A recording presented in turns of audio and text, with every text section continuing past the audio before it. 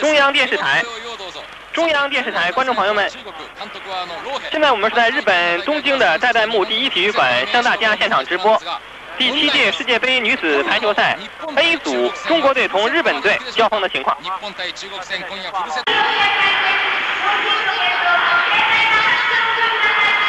中央电视台中央电视台观众朋友们下午好现在我们是通过国际通信卫星，在日本东京的代代木第一体育馆向大家现场直播第七届世界杯女子排球赛 A 组中国队同日本队交锋的情况。比赛刚刚开始，日本队是由二传手一号中西千之子发球先得了一分。由于比赛刚开始，这个看来中国队还没有完全进入状态。快车掩护，在四号位拉开的进攻是由二号李艳一个直线又夺回发球权。今天比赛开始，双方出场的都是主力阵容。中国队两名主攻手是现在发球的二号李艳和十一号孙悦，两名副攻手是五号吴咏梅和队长一号赖亚文，二传手是七号何琪，接二传是十号王子玲。日本队二传手是中西天之子。上场队员当中还有山内美佳三号、九号佐伯美香、十号多智健麻子、十五号大林素子和十六号吉原之子。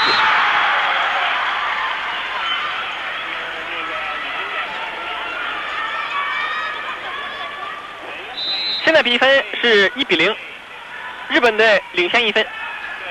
王子林一个勾飘破坏对方的一分，现在中国队调整。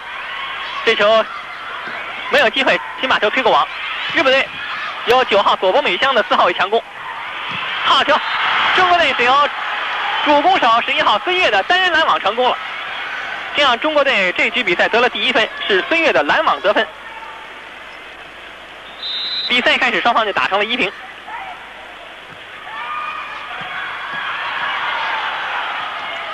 现在中国队是拼发球，拼的不错，跳传。四号位好球，是由赖亚文的背后的快球掩护，由十一号孙悦在四号位强攻得手。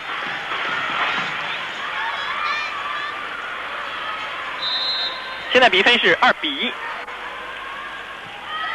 王子玲的这个勾飘发的不错，日本队配合上出现失误，结果大林素子想吊球出界，这样比赛开始，中国队。除了第一分呢，是由于接发球失误，那么现在又得一分。日本队利用三号位的快快攻得手夺回发球权。我们向大家做了介绍，在今在有过四次交锋，在这四次交锋当中，中国女子排球队都获得了胜利。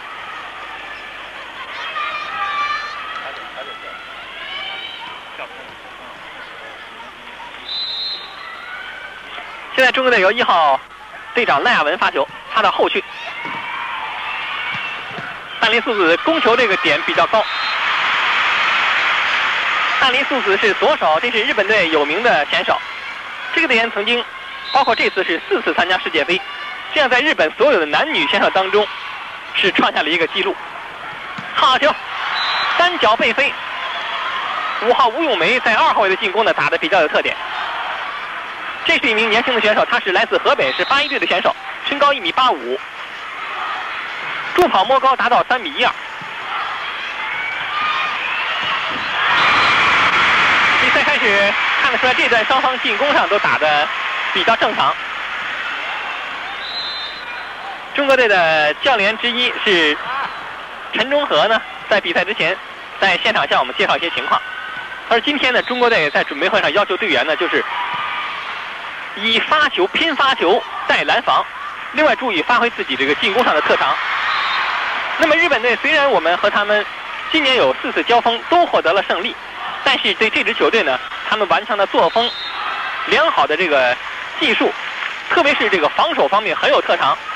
所以中国队的要求队员不能够轻敌，不能够麻痹。另外在进攻上，还要发挥自己这个除了高举高打，还要加上一些快攻、一些战术的组合。所以看来中国队对这场比赛还是非常重视。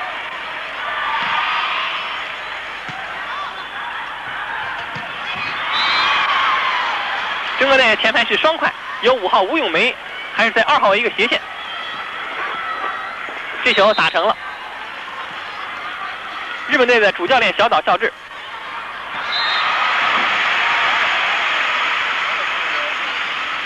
在这种世界的大赛当中啊，像中国队除了赖亚文参加过世界杯的比赛，那么其他大部分选手都是第一次。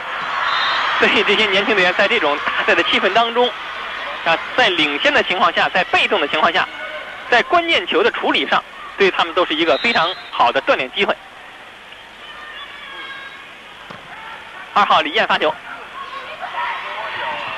日本队前排是三连，前后快球掩护由大林素子，他很活跃，一会儿在二号位，一会儿在四号位，这是一个直线，这球线路上打的比较刁。